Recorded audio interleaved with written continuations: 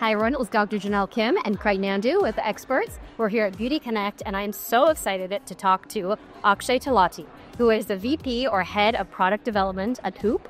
And he next year he's going to be the president of the Society of Cosmetic Chemists, which is a really huge accomplishment. Okay, we've known about all the things for many decades. So please tell us a bit about your sponsorship. Um, so by education, I'm a pharmacist. Okay. I started in the industry doing topical pharmaceutical products. Right. And then jumped into cosmetic. My first job was at Estee Lauder. Beautiful. And when I joined Estee Lauder, it was four brands. When I left them after 22 years, they grew from four brands to 35 brands. What an amazing Uh, thing to see. And Yeah. mostly my career was in uh, growing the brands Clinique and Estee Lauder, and um, internationally in India, China, Japan. And then I moved from Estee Lauder. I moved to actually LA uh, to work for Murad. Murad had just been acquired by um, Unilever, Yes. so I headed their entire R and D, product development, innovation. And then I I came back to the East Coast for L'Oreal. I headed the skincare brands, 12 brands. Um, Kiehl's, L'Oreal, Garnier, SkinCeuticals. Yes. Um, and then finally now I'm with Goop. So I've been working for Goop for three years now. Part of my um, work for Goop is um, growing them into other categories like skincare, makeup, hair care, supplements, sexual wellness. Absolutely love that. All those Yeah. categories are huge and certainly growing. And so, okay, what do you feel when you go, before we forget and move on to all the amazing things about your life or what you do? You say that you help these companies to grow, these brands to grow. So, what are some of the main things that you see, that you watch out for, that you feel, in fact, makes these brands grow? Yeah, so for me is I'm more product development and innovation. So my job is mainly to create products which will be on the shelves 10 years down, 15 years, 20 years down. I am also looking for those bigger breakthrough innovation by taking inspiration from other industries like from food industry, from um, from the automobile industry, from the paint industry. So taking the ideation from there Yes. and converting into products um, or taking even micro trends like people only focus on the macro trends like oh this ashwagandha is pop- Yes. pop- popular or ginseng is popular or turmeric but people are not looking at that little tiny mushroom growing in Haiti or some uh, remote part of the uh, villages in India, China, Japan. So the, my job is to create that bigger innovation Absolutely. I absolutely love and and making the current products better also. Yes, yes. One of the things that I've talked about for a long time, and I'm just going to go out on a limb and have a feeling that we're going to agree, is that also you can have a, such an incredible ingredient, but it's also in that formulation. Not just to make the formula stable and smell good and look pretty, but also in the effectiveness. And that is something I am known to talk about. And so I'm going to take my chance here to see how you feel about that as well. Yeah, so look, I've been in the industry 30 years and I strongly strongly believe that I would say most of the efficacy comes out from the base. Yes.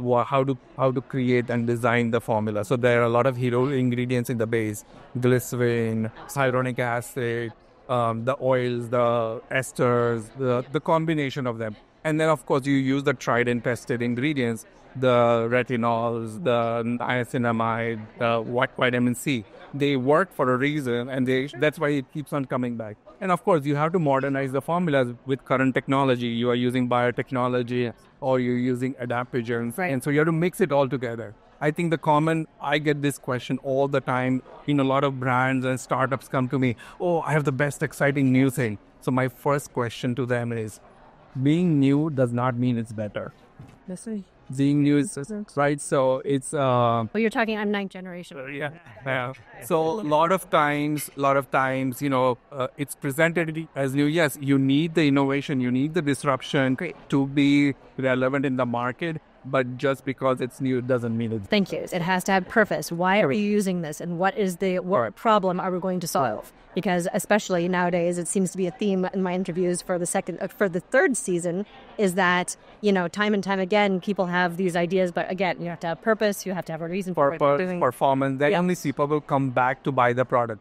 You can you can do the first sale by promoting. You can do paid advertisements on uh, social media. They will buy it once, but if it Yep. doesn't work, it's not sen- sensorially appealing. People are not going to come back to buy it. Absolutely. Yeah. So it has to work for the longevity. Absolutely, because because consumers are so much more people, human beings are so much more aware and educated. Thank, thankfully, you know, many of us we've been on this kind of path. And No, uh, consumers nowadays they want full disclosure, Yes. transparency. absolutely, Um, not right or wrong, they are bombarded with a lot of false information also, but they do want the information. So it's our job to educate them correctly. absolutely, absolutely. I was going to ask you actually when you t- when you talk about your formulation experience being at Estee Lauder, Yeah. giant, you know, global conglomerate, and then moving to a company like Goop, Yeah. which is now becoming quite big, but it hasn't always been that way.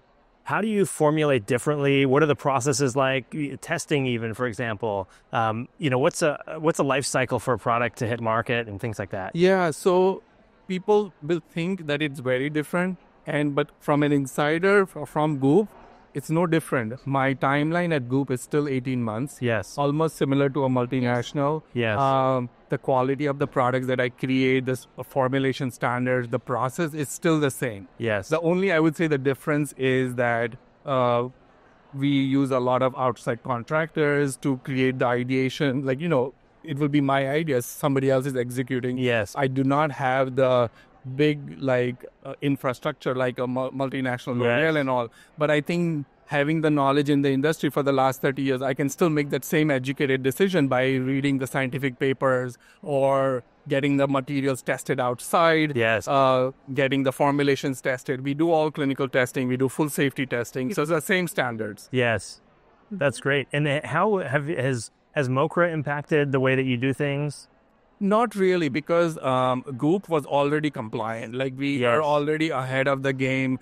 It was just the registration that we had to do on site in their portal, but other otherwise Right. we we used uh, vetted manufacturers. The, I mean, everything was already compliant. Yeah, Right, Just to make right. yeah, when you do things correctly Yeah, from the start. Of course, and we see it with smaller brands. You know, there's a lot that's coming down the the pike in terms of what you have to do in terms of safety, efficacy, and things like that, which is actually not that cumbersome for a, a company that's established like yours. But it is something to be aware of because um, if you're not compliant, obviously you're going to be in violation of the FDA, and you don't want uh, that to happen. But Yes, you don't. Yeah, I mean, there are a lot of things. So you can do the minimal to launch a product, but then you also want to do more. So, which is what we do. We do a full consumer safety. We do a Yes. consumer like you do not require you. You can just launch a product by just doing a microbiology testing and uh, Absolutely. uh, PI. RIPT, RIPT testing, uh, patch testing, and that's it. But Great. we do everything. We do similar standards to a multinational. Yes, I think that's beautiful and something to note that you know there are steps toward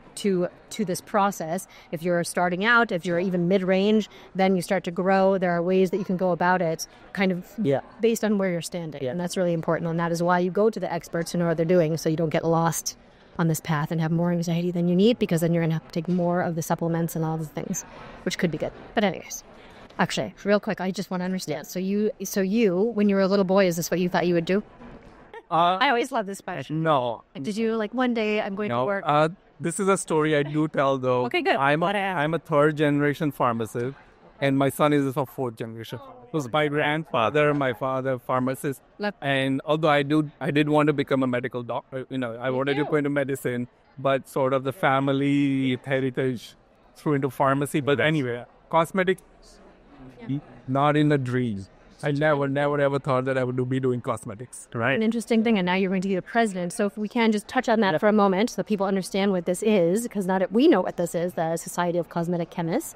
But tell us a bit about it, because that's so special. Yeah, so uh, Society of Cosmetic Chemists, uh, it will be the 80th year next Yes. year that is in ex- existence in US. Uh, it is spread out across the country. We have about six, almost close to 6,000 members. Yes. Uh, we do a lot of the shows, uh, the scientific uh, literature. Uh, we give uh, opportunity for students, Right. scientists, companies to showcase their science, the literature, uh, a lot of mentoring. Yes. Um, we are doing a lot of programs for next gen. So I'm, I'm part of the mentoring program. I guide a lot of students, a lot of startup brands also. So I give a lot of uh, guidance or mentorship to startup brands.